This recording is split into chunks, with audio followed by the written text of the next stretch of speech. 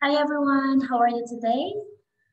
I hope everyone is well. Today is our eighth lesson and I'm going to discuss to you about the utilization of assessment data.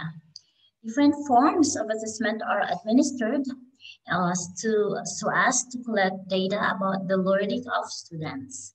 In making decisions, test results can help improve the curriculum and instruction.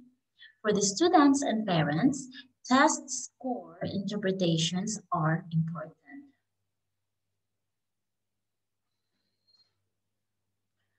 So score are the results of tests and this may be in the form of row scores and percentage scores, percentile rank, z-scores, stanines, t-scores or level, category or proficiency scores. So these are the type of test score. Raw score, percentage score, percentile rank,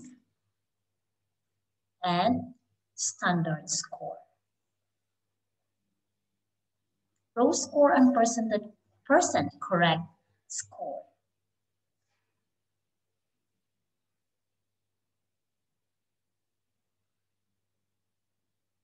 Total number of score points a test taker obtains by answering questions correctly on a test. Correct score percent represents the percentage of questions a test taker answered correctly on a test and adjusted raw score to account for differences in the lengths of different tests correct score is easy to calculate and understand and is often used in classroom tests for score reporting. Why are present percent correct scores not used as the primary scores? Most standardized testing programs require scores that can be compared across different forms in order for different stakeholders, such as states, schools, and others, to make consistent and fair decisions based on assessment results, the scores reported from standardized tests need to be comparable. That is, score must carry the same meaning regardless of which form was administered. Simply put, scores in different forms of a test should indicate the same level of performance, no matter which form the test taker received. Most standardized testing programs do not use percent correct scores as the primary scales for reporting assessment results because such scores are not comparable across forms.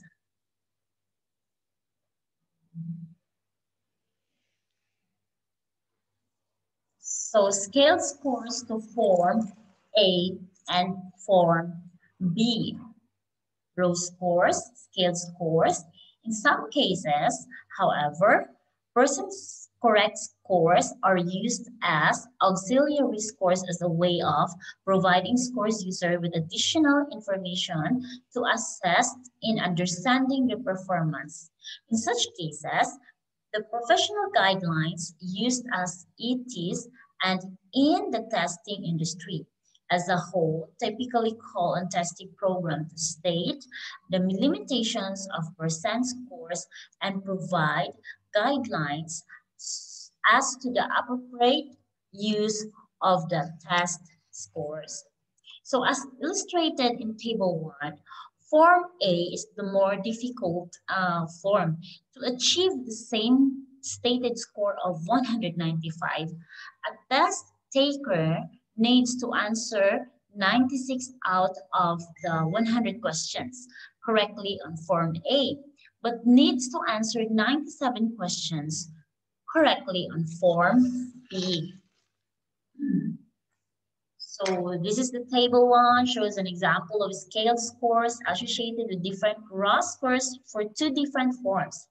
In this hypothetical example, Form A is the more difficult as I, I explained. Percentile rank.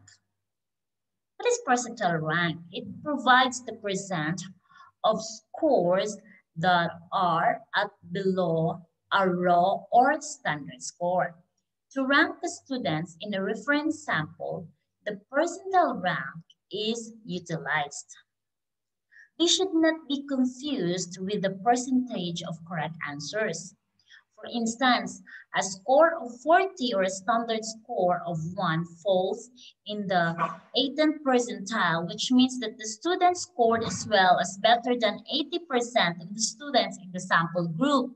Another way of interpreting this is the said student score is in the upper 20% of the norm group. So if the number of students who took the test is 200, a percentile rank of 80 indicates that they scored higher than 160 students. So percentile ranks do not represent equal units and so they should not be subjected to arithmetic operations. Example, the percent of cases that are at or below a score, but we only count half of the cases that are at the score. So if you can see here, the percentile rank for B, for B, 77 degree a percent, in, in a recent test, 12% got D and 50% got C 30% got B and 80% got A.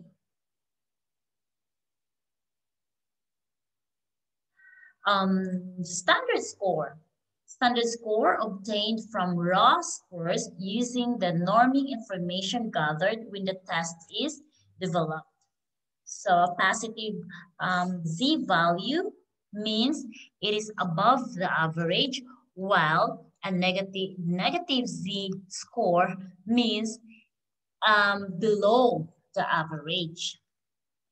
So in 50 item science test, where the mean is 25 and the standard deviation is 10, the score of 35 has the Z score of 1. It means that it is one standard deviation above the mean. Therefore, the score of the students belongs to the upper 50% of the norm group. What are the z-scores? A z, z-scores measure, measures exactly how many standards deviations above or below the mean a data point is. Here's the formula of calculating a z, uh, z-score. Our z is equal to data point minus mean, then over standard deviation. So here's the formula written with, with symbols. Here are some important facts about z-scores. A positive z-score says the data point is above average. A negative z-score says the data point is below average. A z-score close to zero, zero says the data point is close to average.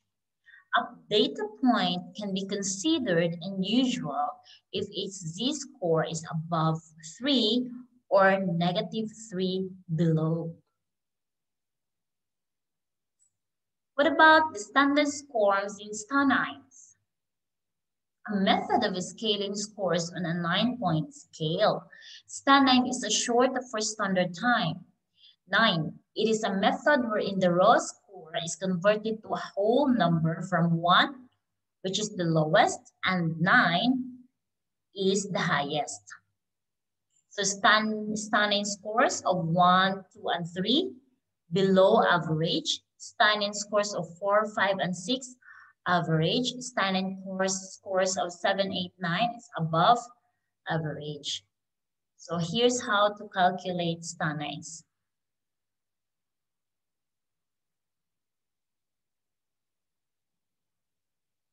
T-scores. T-scores refers to standard score with a mean equal to 50 and standard deviation equal to 10. Two students get scores 24 and 32 respectively, and the mean and standard deviation of the obtained scores are 20.0 and 4.0 respectively. How many standard deviation units that the scores 24 and 32 fall from the mean score? So the answer is 1 and 3 respectively. 32 is virtually above the all the scores on the test. Development scores. The grade equivalent is an estimate of student loca uh, location in the development of continuum and not the grade level where he should be placed. So that was that that that what we call um, equivalent. They are similarly interpreted. For example, um, if if pupil score is equal to an age equivalent of 7.6, this means that the pupil's raw score is equal to the average score of children seven years and six months in the norm group who took the test.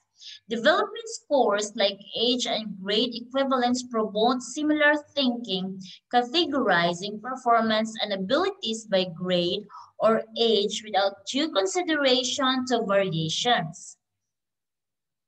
Type of test interpretations. Norm-referenced interpretations. So norm-referenced interpretation refer to the explanation of students' performance in comparison with the students of the same grade or age. Um, students' knowledge is measured um, for, with uh, the students' knowledge is measured in terms of position in the group in the norm group, the utilization of standard scores and percentile rank are common. Um, and um, in a norm reference interpretations, good examples are the following. A pupil is placed eighth in the math class. A pupil score in a math assessment at the 85th percentile, the child scored better than 85th of the student in a group. Norm referenced evaluation identify the place or rank of a learner according to the same source assessment instruments under this are the following. Teacher made survey test, standard aptitude and achievement test, adjustment inventories,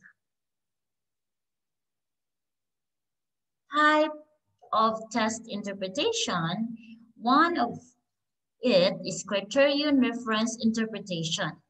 The term criterion came from the word criterion. The following generates a, a pupil is placed in a math class, a pupil score in math assessment at the 85 percentile, the, the child scored better than 85th of the students in the group. Norm reference evaluation identify the place of rank of a learner. According to the same source, assessment instruments under this are the following. Teacher-made service test, standardized aptitude and achievement tests, adjustment inventories. In, in diagnosing the, the needs of students and monitoring their progress, criterion referencing is utilized. Likewise, it is used in criterion evaluation of the program. It is preferred assessment mode in an outcome-based education framework.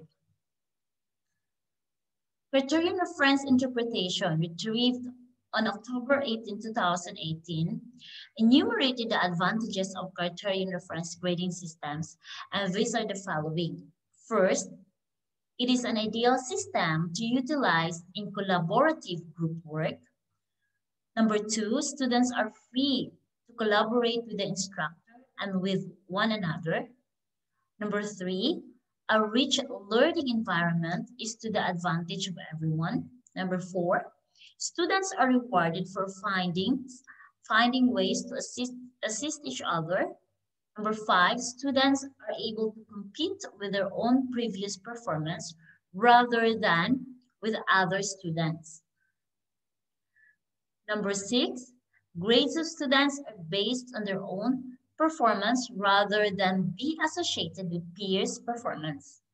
Number seven, for a given outcome, students have a definite and clear understanding of the standard required. Number eight, students are able to exercise greater choice and judgment in the outcome level they target.